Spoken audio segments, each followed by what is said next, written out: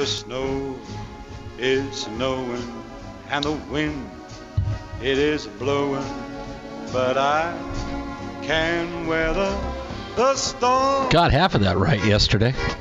What do I care how much it may storm?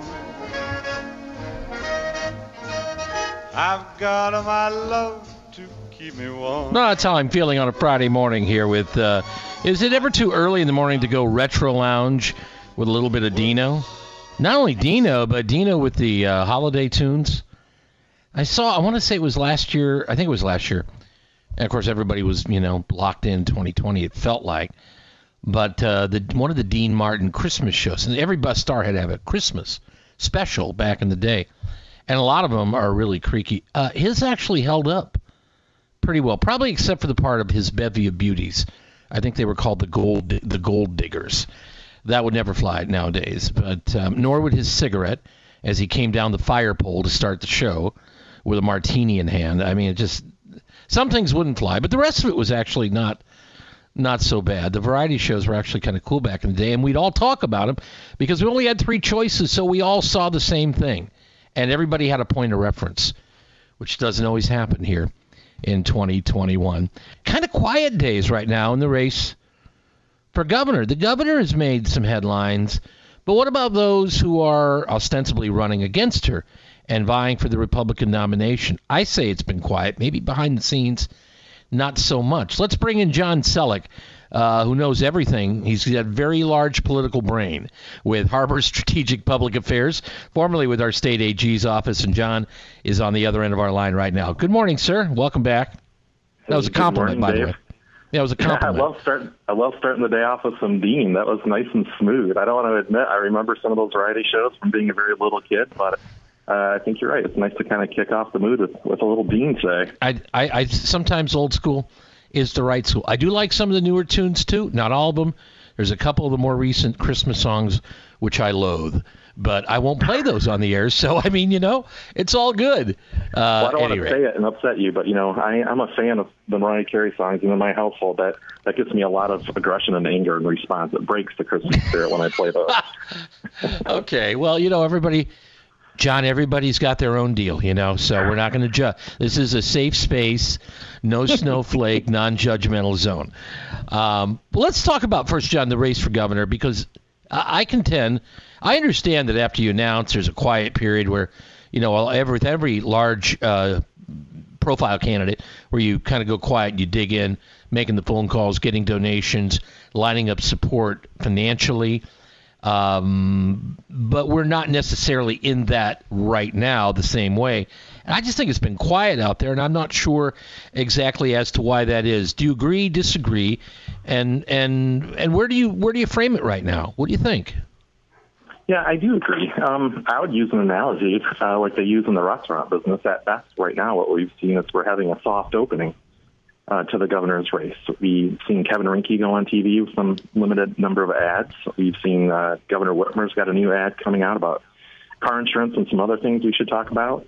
Um, we even had a James Craig sighting uh, this week. He went on a tour of charter schools and hit the potato chip factory in Detroit. So we're seeing some, some activity and movement. And just to put that in perspective, in the last governor's race, Gretchen Whitmer had already been actively campaigning for a full year at this point in 2017. Um, so it is very different. And COVID and the pandemic have a lot to do with that. Um, but so do the ability of the Republicans to get their candidacy going. John, I want to um, add on there to what you just said about Gretchen Whitmer. She'd been campaigning for a year, but not always wildly successfully. Her campaign and staffing personnel, it had some fits and starts to get going, but it gave her time to work through those rough spots so that by the time Right. we hit actual election year, I mean, she was a machine. You would agree with that? Yeah, I think you hit the nail on the head with that, Dave, uh, for sure. Um, she needed that time to get her stuff, her act together, and most people do. Most people are not running around doing Yeah. statewide campaigns every day. You have to think about it like like a startup. You're literally creating a company from scratch, um, and you're getting the kinks worked out, and that worked out really well for her. It even gave the other Democrats um, out there a chance to try to get rid of her, and she proved that they they were going to fail at that, and that she was going to be the nominee, and she was. Um, so that is making it harder, right, for the candidates on the GOP side this time to get going because they're going to have to get their startups going at the same time the election really gets going. And to be honest, you know, the, the governor's had the stage to herself for two years. Um, you would think if we just said generically, hey, you can be on television every afternoon by yourself for a very long time. Um, they, all these all governors would say yes, except COVID is what caused that, and that ended up being just a cascade of negativity and bad news. And the governor's pollsters team did a big, widely seen analysis of what happened in the, the Virginia governor's race and what went wrong for the Democrats. And one of those things was that nobody knew what the Democrats are really for, other than that they see the headlines every day of them just sort of arguing and not making any progress in Washington. One, and the thing they are working on is about more spending and social issues, not the economy. And so the governor's pollsters report was basically begging the National Democrats, please start talking about the economy. And that kind of ties into that new ad the governor has up right now. John, I, I, I don't want to go too far with, you know, into the granular here, but I also believe, from what I've seen here, that um, maybe about the time that they were taking a different tack, turning more towards the middle, or some would even say almost right of center on some issues, uh, this governor's office, they also were being very careful about uh, surrogates and folks in the gov's office, maybe some bomb throwers who are regularly throwing bombs in social media now um, have been disarmed of their bombs. Is that an is that an effort, a specific effort to kind of quell that and not give the opposition anything to work with? Go quiet on that front for now, or no? Uh, I think it definitely plays a role in what's happening.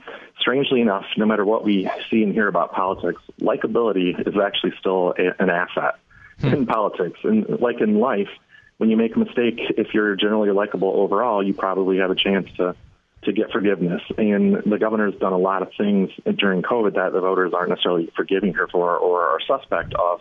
But she has a lot. John, Joe Biden's a good example of that. Joe Biden's a good example. I mean, it, his it, he's recently been elected president. He's got bad numbers right now, but before this, generally a likable guy who made a lot of gaffes that generally people would forgive him for because they kind of like Joe. That's all. Right, and and the governor has, like I said, a ton of political talent, and she hasn't been able to show it because she's had to be talking about all these terrible things that are going on. Not her fault, but you know, you wanted to be governor. It comes with the gig. It's being governor is a hard job. Um, and when you look at this new ad that, that is up right now about uh, auto insurance, ostensibly on the surface, uh, and refund checks, they are talking about auto insurance, but they're talking about two other things too. Um, number one, they're talking about without saying it, likability. Here's the governor getting to be a cheerleader, not like in the gender sense, I mean being positive. Rah, rah, we are fixing things. We are getting things done. Let me tell you about something I got done. I literally get to say on this ad, I made them send you money. So um, they're using her likability factor, and that I made them send you money is the unspoken way of saying, I hear you about the economy. Inflation is horrendous, terrible, bad thing, and you're very upset about it. I'm doing something. Everyone else is taking your money. I'm putting more money in your bank account. Hmm. Do, John, um, on a scale of one to ten, one being forget it, ten being man, this is going to happen. Where where would you put early 2022? Someone else getting in the race for governor on the GOP side, thinking maybe there's an opening and that these folks have not gained enough traction. One to ten, what would you call it? Uh, the desire to get someone else in the race and the phone calls behind the scenes are a 10. Whether anyone wow. else wants to do that, whether anyone that's a big number. That, I think it's going to be low. Well, you know, these candidacies have to prove that they're going to be sustainable, uh, and right now they haven't really done that at all. Um, they're coming and going, and so leaving, leaving a lot of room. Generationally, there's going to be a lot of people who remember the uh, the excellence and the hard work and the the, the actual, actual efficiency and effectiveness of Candice Miller. But you know, she said over and over again she's not really interested in this.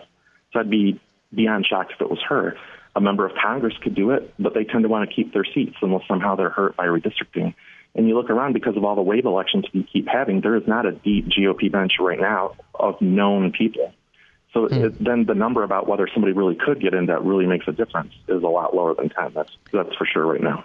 And then if they get in, there really is no margin for error for their campaign to have any mistakes or fits and starts, as I mentioned before with Gretchen Whitmer in her year before election year.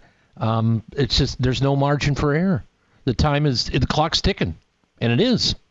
Yeah, it's so, looking fast. yeah, no kidding. Uh, before we let you go, big story of 20. What was the biggest political story in Michigan in 2021? Too. I mean, in 2020, I would say it was the pandemic. I think we could agree on that. And the pandemic didn't go away, but was it still the big story in 2021, or was it something else? Uh, yeah, I think you still have to argue it's the biggest story for sure, but you know, right up there with it right now. Um, we've had essentially two gigantic bipartisan legislative gubernatorial actions. One was in the first year on auto insurance. And the second one was just the absolute lightning streak uh, activity on the economic development package after we lost the Ford factories, the battery plants to the south. Um, when you see legislators signing NDAs and you see the legislators and the governor working behind the scenes that quietly and that quickly and passing things by that big of a margin, they got scared straight together um, on something. We have to see all the details. It's easy to assume it means are we going to get a battery factory in Delta Township or not?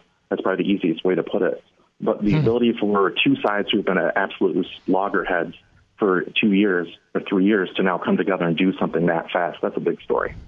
John Sellek with Harbor Strategic here.